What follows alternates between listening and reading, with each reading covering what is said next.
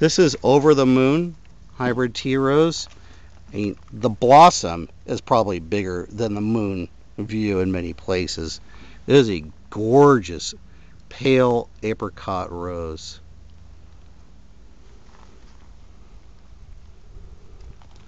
That's Over the Moon from Weeks Roses.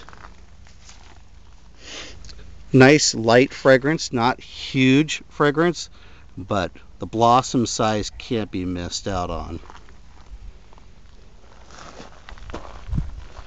Over the Moon Hybrid Tea Rose.